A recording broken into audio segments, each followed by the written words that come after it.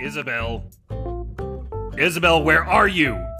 Isabelle, get in my office right now! I'm right here, sir. Radical! Hey, my newborn baby slaves keep dying, and I need you to bring me more. But Mr. Nook, you're literally killing babies faster than they're being born. If you care so much, then why don't you start making more babies yourself?